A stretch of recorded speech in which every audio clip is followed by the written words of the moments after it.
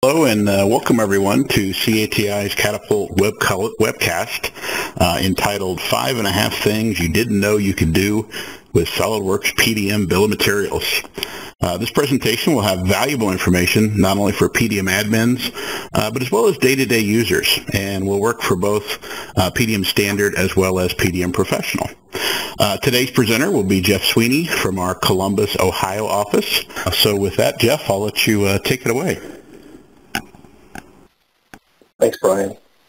Yeah, the, uh, as far as questions go, please don't feel free to, I mean, please feel free to add them up. The uh, I've done this presentation now twice, both at SolidWorks World, and at both times it kind of it really became kind of a fun uh, type of deal where we were able to talk back and forth and and uh, get get a lot of questions. Uh, it take it took me about an hour there uh, at both times, so I would expect uh, unless we get a lot of questions, probably around 45 minutes, probably a little less than that as, as far as time goes to build things up. So here, here's the types of things. Uh, wow, it is a are you guys all as nervous as I am about doing this? Let's see if I can relax and get this thing better. Uh, the, the, agenda itself, what we're going to cover, uh, we're going to talk about the basically the build material tab. So when you're in SOLIDWORKS PDM, either Pro or uh, Standard, you can see most of the things in here. We're going to talk about the quantity overrides, how to compare build materials, actually editing build materials right in, inside, um, some other little tricks and, and tips and, and, other types of things as well. Now, where the title came from, uh, five and a half things, it's it's kind of a fun little play on. Uh, I don't know if you guys have been following the news, but there's a lot of states now looking to legalizing uh, uh, gambling on sports. And you know, you always see in the sports thing how they always have that half a point. So my my goal is, of this presentation for you guys is for you guys to learn more than five things, and uh, that hopefully you'll pick up some little nuggets in here. Uh, even the experienced users should find things. And again, like O'Brien said, eh, most of this stuff is going to be for average everyday users, but there'll definitely be some things for administrators because there are going to be some things here that you need to set up and uh, for the users to be able to go through. So that's how we build this up. So uh, I guess I won't need to spend much time on this slide unless you want to write down my email address. If you want to contact me directly, you're certainly welcome to do so. Uh, and then uh, obviously Brian's got information at the end to how to download this if you, if you want to see it again. So first, let's, let's talk about the, the build material types, as, uh, as probably a lot of you guys have seen. Uh, there's lots of build material types that PDM supports. And uh, depending on uh, which one you're using, there's four types of build material types supported by standard, and Pro actually has six. So the differences of, of them are, and, and, you can tell by the icons, the, the top icon, the, the one I have the build material next to, that's just a regular, what we call, a lot of people call calculated build material. Every time you check in a, a, a file with references, PDM will build that structure up for you automatically. So that's a, a kind of here's what uh, I think is exactly inside that build material. Now certainly you do have the ability to take that build material and modify it if you so choose and convert it into a named build material, which is uh, shown by this little icon over here. Now named build materials are for Pro only, but uh, there you can manipulate the build materials if you if you if you need to. The weldment build materials and weldment cut list, those are pretty tightly tied together. And uh, the biggest difference between them is, is that uh, one is is well, let's do it this way. Let's let's imagine that you have a welding uh, two by two stick of uh, of steel tube, and uh, it's you cut it in half, and so now you have two four foot pieces. Well, in that example there, the weldment cut list would show on on, on the quantity of two, four feet long, but the weldment bill material would show would nest all that information up and show you that you have one two by two piece of steel, total of eight feet long. And so the weldment bill material is oftentimes what the purchaser wants to have, right? Hey, I need to know total amount of steel that I need in this particular uh, weldment versus the cut list is actually oftentimes what the, the actual welder wants, right? So he can go through and, and do his count to make sure he's got everything that he needs. The, um, the other kind that, that's not listed here as far as, uh, oh, I guess I'll bring this up too. And you'll see this icon as, as, well on both PDM Standard and PDM Pro. And what that is is that is the actual bill material in the document itself. So if we're talking about either a SOLIDWORKS drawing or SOLIDWORKS assembly file, right, you can have a bill material table right there. And so this gives you a window to be able to pick and choose that actual entity there. And so now you can see like, that uh, bill material. Let me show you what that looks like. I'm going to jump over to my vault. take you to a project that I know has information in it. So this assembly here, actually this is a drawing. If you look at the preview, see it has a table in it. And so here's what we've been talking about, is that I can have that little icon right there at the very top tells me this is the actual table itself. So the nice thing is, as a user, I don't have to open up the SOLIDWORKS document. I can come and see the, the, the table built right in from here. And then this guy actually has several different types of calculated of materials. And uh, I do that because sometimes I need different types of calculated of materials depending on what I'm doing. Maybe um, I, I have a, a different type of of material for, actually, let me hit the wrong button here. Let's go back to it. Maybe my ERP export needs different columns exported out.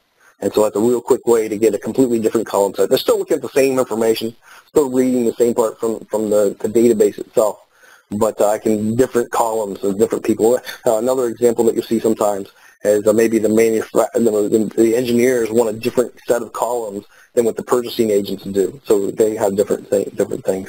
So you can build these guys all up right there inside the administration tool if you ever need to.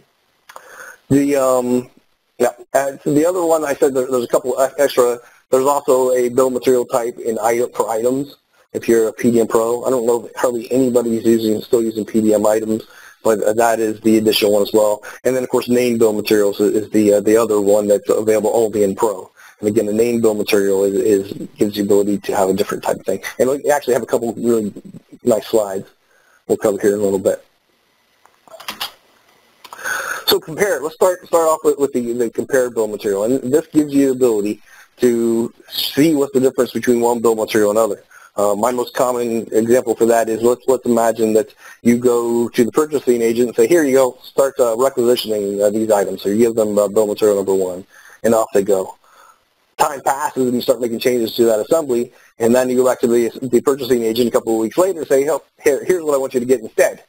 And of course, their first question is always, well, what's different? What do I need to buy? What do I need to sell back to stock? Or, or what, what has changed?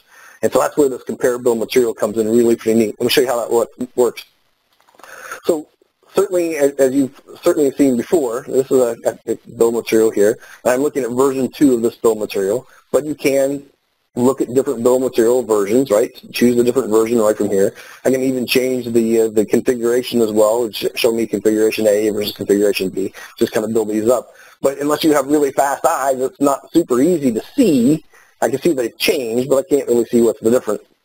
So that's where this little button over here on the right-hand side comes in. It's a, a compare bill material. And so what it will do is it takes what I'm currently looking at. So right now I'm looking at the, uh, the version 2 default, and I'm going to go ahead and compare. And now um, I'm in compare mode, and so you see it's a little compare mode. Uh, so everything's kind of read-only at this point in time. But what I'm doing is I'm comparing version 2 default to version 1 default. Down here in the very bottom right-hand corner, I'm kind of seeing a real uh, list between what's new, what's different. In this case, there's only one thing different. Uh, that uh, oh look, I've deleted that new crown part from uh, what was originally in version 1 and version 2. So you kind of think of, of over here on the left-hand side, that's what you're currently looking at, and then I'm comparing it to this. And why I bring that up is that uh, you can sometimes get confused. So I can tell from here that I've deleted, when I went to version 2, I deleted that new crown. But if I wasn't really paying attention, maybe I was, was looking at version 1, and then I start the compare tool. Now version 1's over here on the side, and now you see that new crown is considered new because I'm actually, well, I guess when I added, went back to version 1, I add, I add that in. So the order that you're looking at sometimes can be a little tricky, so pay attention to that and make sure you understand uh, what, what you're certainly looking at.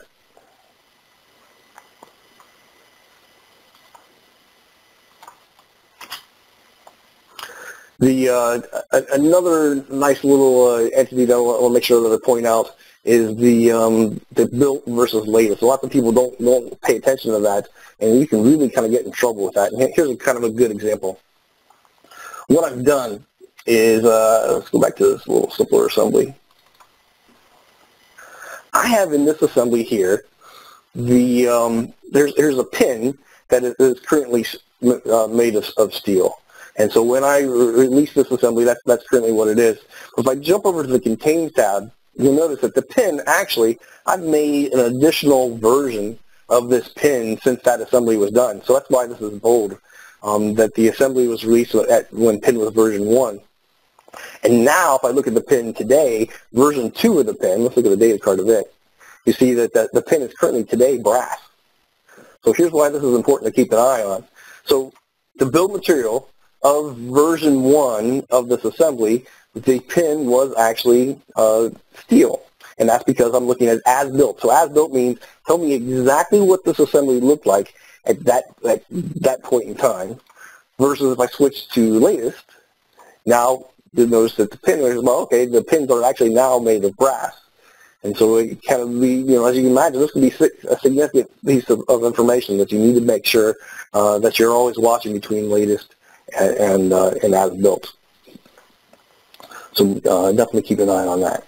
Let's go back to another funnel. Hopefully I got a couple new guys for that one. A couple good points for that one. That's a good one to watch. Um, here's another one. Uh, did, did you know that you can actually edit entities inside that bill material as well?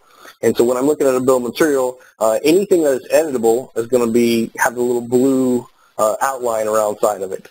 And so um, let's talk about that a little bit. And then anything that is changed is going to turn into this little uh, orange color as well. So first, notice uh, this bill material right now is not checked out by me. And um, you see that the, the document number actually is editable even then. And the reason why is that these, this document number is actually a uh, version-free variable, right? If you remember the version-free variables, those are a new, newish kind of variable that, P, that SOLIDWORKS released that gives you the ability to, you can edit these variables at any time. I don't have to, uh, have to check out the file to make that particular change. Um, so certainly these kinds of things can't be written into the files but they're really good uh, types of things for uh, stuff that you want to be able to change and not worry about the history. So that's why these are always editable because this is a special kind of variable. But you notice nothing else is editable. So let's go ahead and I'm going to check out that main assembly. SOLIDWORKS always does. Would you like to check out any of the children as well? And so no, I just want to check out that assembly. And so now you see that there's uh, more things that are available to edit right from here. Um, probably the most interesting is, is that the quantity is actually editable here. This one gives me a chance to do a quantity override. Uh, so maybe if I want to know, so actually I need to have three of those brackets. And now I've built that up and I can hit the save button and now I've saved that particular bracket as three. So here, here's a, a, very common thing. I've done this before. Uh, let's imagine that you, I did a, I did a breadboard not very long ago. And on that breadboard had almost a thousand little LEDs. And I didn't want to model all thousand of those LEDs because I knew it was going to really slow my assembly down. But I wanted to make sure that I had a thousand of them. And so what you can do is you can come into find that LED, do a quantity override, and now anytime I'm looking at this assembly, the quantity is going to show a 1,000, even though you and I know that if we look at the file inside of SOLIDWORKS, it will just show a quantity of, of the actual quantity itself. And so that's what this orange is telling you is at this point in time, I'm now responsible for the, the total quantity of the bracket. So if I go into SOLIDWORKS and make the change there, add more brackets or change the brackets there, this will always stay 3 no matter what I've done. So if ever I change my mind and say, you know, really, I really rather go back to the computed quantity, that's actually the ability just right mouse click on the, any quantity that you've ever overridden, and I can switch back to the computed quantity, and now PDM will now be responsible for keeping that number up to date. So that's good to go. Also notice the, um, the some of these guys are not editable. And the reason why is, is that if you see, this is a sub-assembly, and inside of there are these three parts. And so these three parts I can't edit because if you think about it, the quantity of these is responsible by that assembly. So I come up here and then I check out this assembly. Now when I go back to, uh, to here, you'll see that uh, they're now editable as well. Uh, is there a way to edit? I got a question. Uh, is there a way to edit several cells at once with the same way as verbiage in Excel? I'm, I'm assuming you're meaning something like highlight these guys and and put some information here and then, down to each one. No, I don't. I don't have the ability to highlight multiple cells. Uh, so no, unfortunately, I, I, cannot edit more than one cell at a time. It, it is one at a time. Yep. Uh, other interesting points uh, to this is, is the, uh, for example, maybe I want to edit the description. Well, because I can't edit the description because that female yoke is not checked out. So let's go to the female yoke. We'll check out the female yoke. Now when I look at that assembly, you notice now I can actually edit it. So I can make a change here, and that will actually update the uh, the actual um, bill material itself, and, uh, actually the data card itself. So uh, that's uh, I, I, can't really do that here. Um, I sort of one thing I make sure I point out though is notice all of these options are available only because I've switched to the latest. And so if this was still on as built, then I couldn't edit a lot of these fields. Of these I can because it's checked out. But I, I couldn't edit a lot of the fields because again, the as built means to show me exactly what was in that assembly back then. Uh, when you override the computed bill material, will the user input value show on the drawings? Oh, that's a great question. So, so what the question is, is remember a little bit ago, I overrode the, the, the total quantity on the, on the bracket. And no, that is a one-way street. So it will not go back until, SOLIDWORKS is none the wiser. So when I made the, the quantity three of the bracket, SOLIDWORKS didn't know that. And so no, the, the drawing itself wouldn't update that. Certainly the balloons wouldn't, or, or, and or if I had a bill of material. And so that's, that's a good point. Um, if you're going to allow your users to be able to manipulate the bill of materials here, especially an example of a quantity override, uh, you as a company are going to need to decide which is going to be the master. Um, when I'm, um, do I want to say the drawings on the, the, the print are the master, or is it the PDM data is the master? And uh, to add a little bit more to that, because that's, that's kind of an interesting uh, can of worms I know I just opened up, is, is that if you decide, yeah, I think you know, I allow, I love the functionality of, of PDM's bill of materials, um, and I'm, I think I want maybe that to be the master, then maybe you ought to consider not putting the bill materials on the drawings. Right? Tell the users, hey, you know, you, you have PDM, log into PDM, and get the bill material information right from there. You still may, you know, certainly balloon and things like that, but oftentimes the balloon, the, but you, there might be some fields on that bill material inside of uh, SOLIDWORKS that you, that you wouldn't want to display anymore. And the quantity is a very typical one. Good, that's a great question. Thanks for bringing that one over, Brian. Yep. The um, okay, let's go back to our slide presentation, see where we are. I'll hesitate here for a couple seconds if you have any other questions about that because uh, those are some pretty interesting points there. So kind of in, in short, uh, just a review, the, uh, the, the, one thing is make sure that you're looking at the latest. Don't look at the, I mean, look at the, the latest version. That's when most of these guys will turn blue if they're not before because, again, if you're looking at as built, as built is saying, here's what this file looked like the last time it was saved in SOLIDWORKS. So there, there's definitely a little bit of a difference between those guys. So uh, I guess here, here's a, I forgot I had the slide, so just a real view of the quantity override. As you can see, in this case, they've done six of them. And then if you ever want to go back, there is just right mouse click on that particular cell, use the bill material quantity. It's your responsibility if you've done an override to make sure you keep that up to date. Because PDM goes, well, all right, you want to override it? That means it must be yours. So here's my favorite question of the, of the whole deal. Let's go ahead and go to one of my bill materials.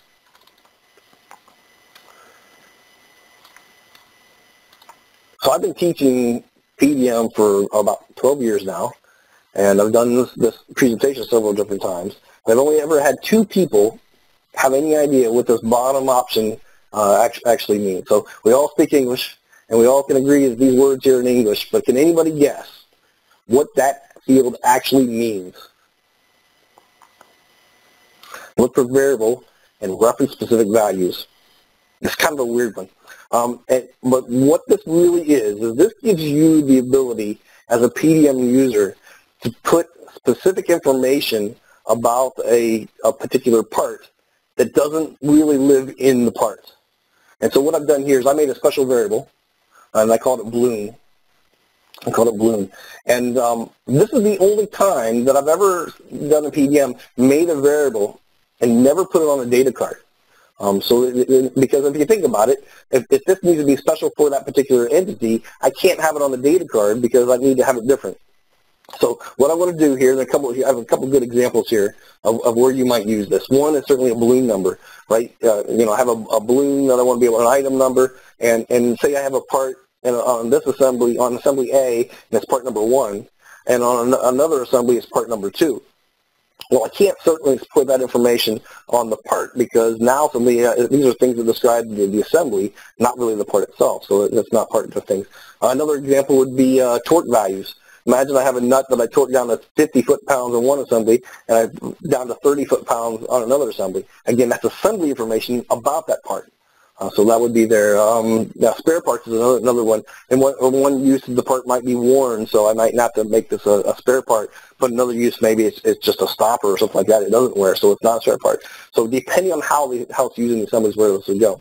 So what you do is you make the, make the variable, don't put it on a data card, and just add it to your list and look in variable specific values.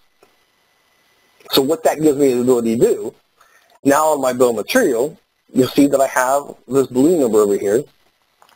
If I switch to uh, latest, now I can actually enter in my blue numbers here. One, two, three, four, whatever I want to do. Actually, I have to type in there. Two, three, four, or, or, or maybe assembly notes. Uh, uh, Titan first.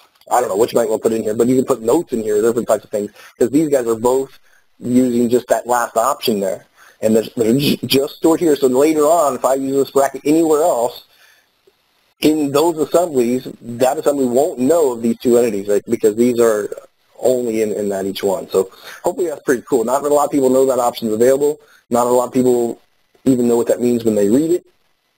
So hopefully uh, I explained it pretty well. And uh, give me a thumbs up if you, if you got that one. But I, I think it's a, a really neat, there's a lot of opportunities to use this option, but not many people know how to use it. Comments is another one I see here that I have in my list. The one I have. So here's a, here's an interesting one. Um, I'll show I'll tell you then I'll show you.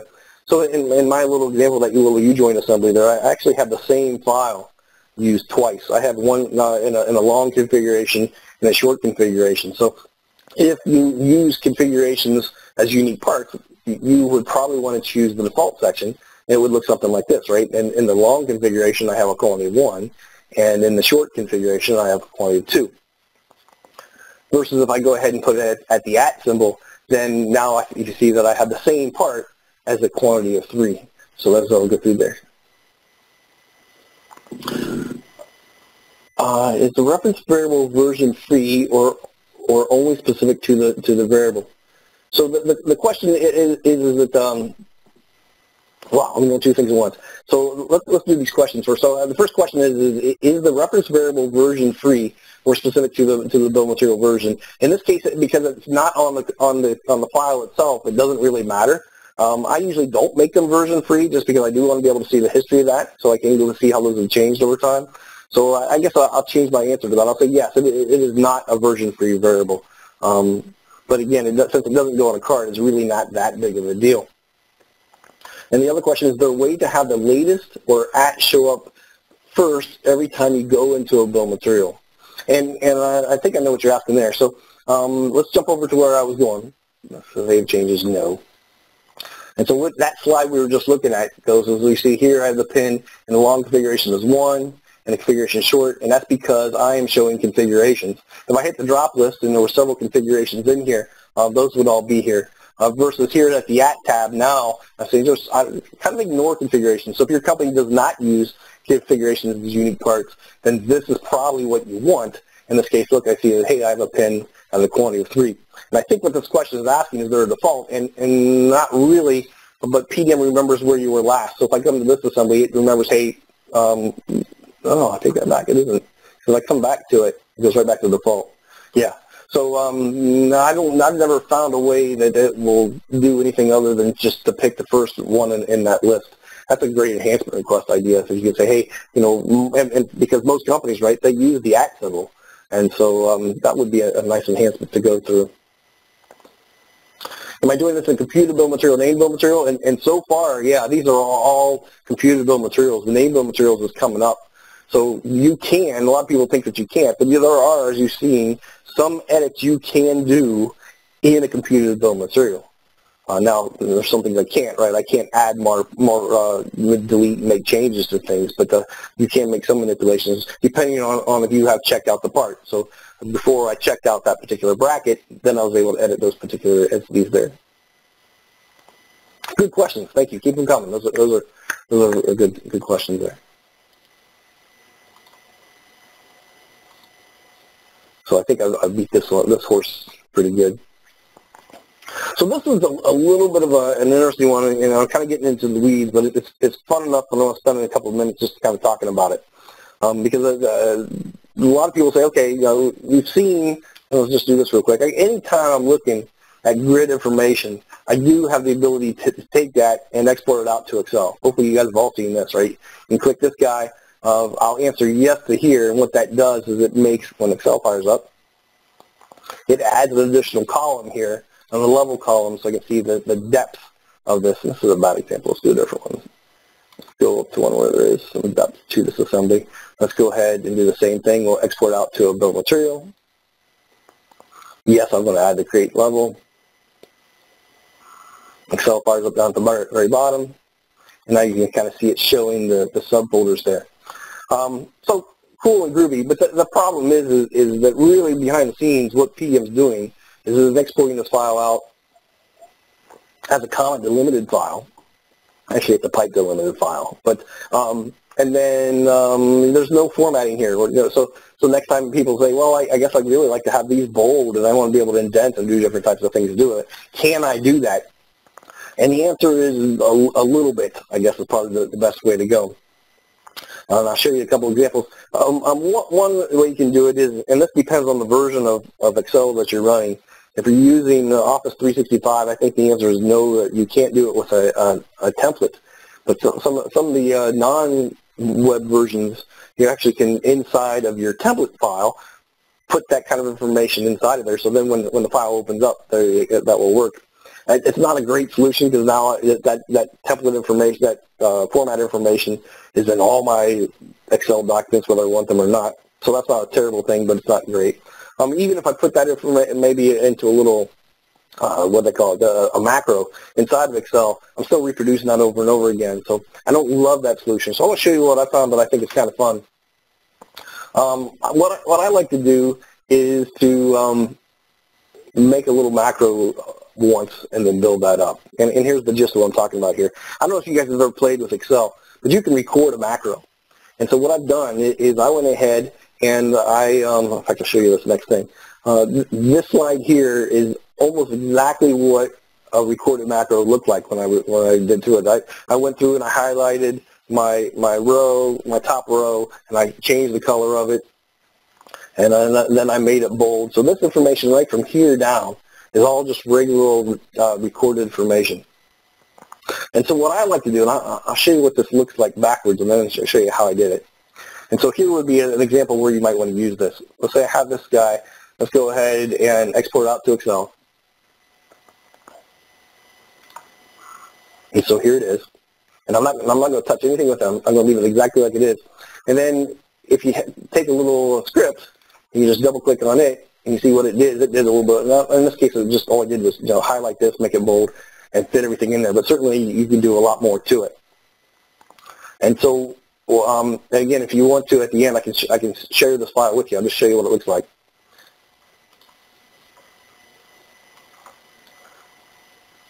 All I did is from here to here, this is all the information that came just as I, I recorded it. I did it one time and recorded it. And then I added these two lines at the very top, which are, are in the, uh, the PowerPoint I'll bring up here in a second. And again, you can email me if you want to see a copy of this guy. And then save it as a VBS file and then store it on your desktop. And a lot of customers, what they'll do is they'll just go ahead and they'll make a nice little quick output, double click on this guy, do it one more time because it was so quick. Say, I got a bill of material, I'm really happy with it, let's export it out however you want. Here's what he looks like, and just double click, and it does that. So it's a real nice little thing, and it's nothing more than using Visual Basic Scripts. Uh, there's, there's lots of other ways to do it. We have some customers that really get fancy with it, but uh, this is my 50 cent answer on a real quick way of, of doing exactly uh, that. So if you if you get a hold of the, the PowerPoint, or I'll just send this to you, and this is exactly the code that, that you do, and then certainly you're welcome to come in here and tweak it. Uh, I don't want to spend a whole lot more time with this because, again, I didn't promise a, a Visual Basic lesson because most of you guys probably aren't too interested in it, but I think the output is really pretty cool. And I want you to know that there's lots of ways. If you wanted better looking out, outputs, and everybody does, um, there's, there's a way to do that. Give me a call and we can, we can set that up for uh, your favorite uh, CATI representative. Okay, so uh, had a couple questions earlier talking about name bill materials versus uh, uh, computer bill materials. So let's talk about them. And, and unfortunately, uh, at, at, this, this is not something for you PDM standard guys. Uh, everything up to this point has been PDM standard, but this is a PDM Pro thing only. Um, so uh, the industry calls calculated bill materials EBOMs, uh, which is, uh, and then the industry also calls name bill materials MBOMs. It's all spelled a little bit different. So if you ever hear somebody say EBOMs versus MBOMs, just kind of substitute in your mind calculated uh, versus named. It's the same type of thing. So here's the gotcha. Uh, in, in reality, many times if you think about it, the, uh, the, the calculated bill of materials really aren't what uh, the, anybody else outside of engineering wants. And, and so um, here, here's a good example, right? Let, let's say that uh, you have an assembly that has three fasteners on it. Well, and your bill material, you have a quantity of three. But a purchasing agent, he sees a three, what's he going to do with it, right? Because he's going to buy a box of 100. He's certainly not going to buy 300 of them. He's not going to be able to. So he wants something something different. And and you run into all kinds of different things where engineering wants this kind of thing, but we all know that you have to buy things differently than what you uh, would do uh, by those. So so that's kind of where these name bill materials come come into effect. Um, so another example is, is maybe uh, you might want to put more things on the, on the final bill material than what would be inside of uh, the, the engineering bill material because maybe part of the, the, the final product you also include maybe uh, instru- packing instructions and maybe uh, uh, a shipping crate and other kinds of bill material type things that you know engineer doesn't do, but it does need to be on a bill material somewhere. So that's where these main bill materials come in pretty cool. Let me show you how you do that. Let's close this and close this. So this, as we've been talking about for a while, is, is a calculated bill of material. But what I want to do is if I want to, I can save it, save as, and give it, turn this into a named bill of material. So I'm going to call this one um, Jeff named. Probably give it a better name than that. But so what I've just now done is this is a, a bill material. You notice that everything's now blue because name bill materials are yours. They're not much different than just regular taking that file and doing a save as, save it as an Excel. I can do lots of different things in here now. I can uh, come in here and go, you know, I really wish I would have called this Justice. You know, you're welcome to make those kind of changes, and I can change anything on here because again, they're all blue. I can also, if I want to, uh, insert so add some additional rows in here. I can uh, delete rows. Maybe, oh golly, I don't want to buy these because they're just a reference only. I can uh, hide that uh, entire row from here. You can do a lot of neat things with this guy. Edit, edit, edit, edit, save it. And now this is a name bill material that's been saved. Now these name bill materials are objects inside of PDM. Um, so they can actually go through a workflow if I want to. Um, here's how you get to those. If you go to display, in this case, we're seeing files, and most of the time that's what you want to see up here, right, is files. But if you have bill materials in here, here we go. Here is a named bill material. And you see it can be checked in and out. It can go through a workflow. It can uh, have its own life cycle. So now imagine that I take this named bill material and I push this to, to the purchasing group. Um, here's another neat thing about named bill materials is they're dead. They're not connected to that calculated bill material anymore. And so uh, continuing the story on, let's imagine that uh, I give my purchasing team, hey, start requisitioning these particular parts. Meanwhile, I know I'm not yet done with it. So I can go in and continue editing and making changes to the calculated bill material, knowing that this main bill material is not yet up to date. So my I don't have to worry about the purchasing guy start buying stuff that I'm not yet ready. They're looking at the main bill material. In fact, there's a setting inside of PDM where maybe you don't want them to see the calculated bill material. You only want them to see the name bill materials. Now, the neat thing about these name bill materials is that you can still compare bill materials from one to another. So the story, like I mentioned earlier, that later on when the, the purchasing agent gets version 2 of a name bill material, they can still use that compare tool to get an understanding of, hey, here's how this uh, assembly it might have changed. Um, but here, another neat thing is, is that uh, this little icon right here, let me bring up the slide again. If you ever see, where's the slide? Here we go. If you if this guy ever turns orange like that, that's an alert to me that hey, this uh, named bill material is actually out of sync. And so um, in my example there, right, I've added more parts to it. My calculated bill material is now, as soon as my calculated bill material changes, in my name bill material, if I look at the name bill material, this guy's going to turn uh, yellow, just simply alerting me that, hey, this is out, of sync, in which case many times it might what you want to know. But um, the neat thing is, is then if I click that icon, it will actually give me the ability, it will go and find all the new parts from the uh, from the original uh, assembly and put them um, back into my name bill materials. So that's kind of where bill materials, there's two big things bill materials have over just saving the file uh, out of Excel. Uh, one is the compare tool, right? Because you can't compare Excel documents, change Excel documents. And the other is this ability right here to say, okay, I know my calculated bill of materials changed quite a bit. Refresh me. And it goes out and, and updates uh, all the information uh, that I might need to be able to have to it. So again, if you see the exclamation point, then it tells you, hey, uh, I'm different than the calculated bill of material. And it's up to you if you care or not versus if you see the uh, the little just regular refresh button, that basically means that hey, I'm the exact same uh, of each one of those guys. Now, a little bit word of, of warning. Remember, I went to that one particular part and I hit it in the main bill material. Um, if you hit the refresh button, it will go through oh, hey, look, this part isn't here, and it will bring it back. And so um, if you refresh them with the, the, automatic tool, definitely keep an eye on entities. If you purposely removed entities from your name bill material, then um, when you refresh, they'll come back. And, and, I'm not a big fan of that. I wish there was like a way that you could hide it and don't bring it back unless by golly I say so. Because uh, maybe I hid it for a reason, right? Maybe I don't want to buy it or something like that. I don't want to accidentally break things in.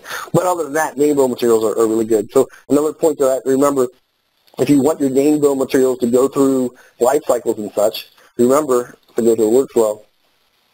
On your properties of your workflow, you do have the ability to, under, say, object type, and the object type, you have a couple of choices, right? You can It could be a file, and that's what we almost always use. But if I choose this, now we're talking about only BOM files, name bill materials can go through there. So that's kind of a neat little thing to remember. So again, that name bill material can have a life cycle, and a lot of people really kind of eat that up. Other other ways to view the name bill material. So remember, when I came here, I was looking at files versus bill materials. So I can see a lot of bill materials here. I can certainly look at this bill material here, highlight it, and, and see this as you would expect.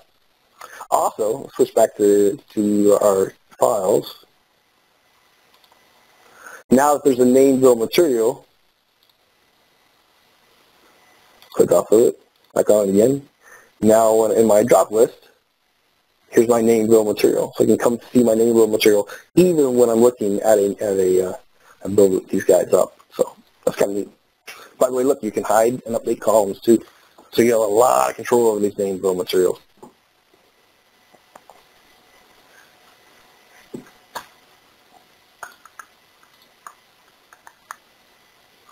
And so, uh, again, once again, I forgot I had a slide on this already. So, again, just a real quick review is the, the name bill materials can be checked in and out, and history. And also, I can look at the history, right? I can look at any type of bill material, see who's done what, when, and why. So, so it behaves like a file, but in reality, it's, it's an object. It's something calculated in, in the database anytime a user needs it. So here's what I get a lot. The uh, be activated versus non-activated. And this doesn't make any sense for standard. I think this button is actually here for standard, but it doesn't do anything in standard. What the activated versus uh, non-activated, and I'll show you real quick what I'm talking about, then I'll go back to the slide. Anytime I'm looking at a calculated bill of material, you'll see the uh, where I can, it's just nothing more than a switch, activated versus non-activated. And what that does, go back to our slides here, is that if it's activated, it's a real quick way of taking that calculated bill material and making it behave like a named bill material. And so then, you know, the, if, I, if I was a user would set up something like this where I can't see the computed bill materials, but I can see name bill materials, really what this is is I can see name bill materials and I can see any activated computed bill material because it takes that computed bill material and really quickly just makes it a named bill material. So that's kind of neat, right? Especially if you keep your purchasing agent out of your computed bill materials and only want them to see name bill materials, but ah, I don't really need to keep this up to date. I'm not interested in going through all the effort of making a name bill material over and over again. Well, just activate it. Now, the other thing that you can do, um, again, with PDM Pro, as, as you guys know, you can actually take your bill materials and automatically export them out in, uh, into an XML file, which is, uh, you can build that up. So in this case here, I can build an, uh, an XML rule, an export rule. And uh, one of the options there is only activate, only export activated bill materials. And so what this kind of could do is, if you imagine it, is, let's imagine that maybe I'm releasing my assemblies and um, they're going through and, and I'm not yet ready for it by accident. And so this way I can say it keeps my users, all right, you have to turn this activated on before those bill materials get exported out. So it's kind of neat in, in theory, but in reality, I, I warn you, there's, you can be a little bit in trouble with um, because it doesn't warn you. So let's imagine that uh, when I'm releasing a document, I automatically have an XML file that gets created of my bill of material. But since it doesn't warn you, and a, a designer, imagine maybe he forgets to activate it, releases his assembly, and then two weeks later, people go, well, where's these parts? How come they're not ordered yet? Because PDM didn't tell the guy, hey, I, you didn't activate it, nothing got done. And so um, if you do decide to use this option, definitely your users need to be on their toes and be very careful to make sure they understand that if you don't activate it, your stuff's not getting by. So really powerful, but kind of risky as well. So wow, we ended up with one minute to spare, um, but certainly there might be some questions. I do want to remind you guys that hopefully you, you enjoyed this, um, and then we've got some other other great webinars coming up here soon. So uh, I, I, guess uh, thanks for attending. I'll hang here for a little bit. Um, I guess there are no more questions. Good enough. Uh, hope you hope you learned something. Hope I got you at least five and a half things that you learned because that's always the, you know watching somebody do something is always kind of fun to learn different ways, little tips and tricks. I hope you got some value out of the session. Thank you, everybody, and uh, have a good afternoon.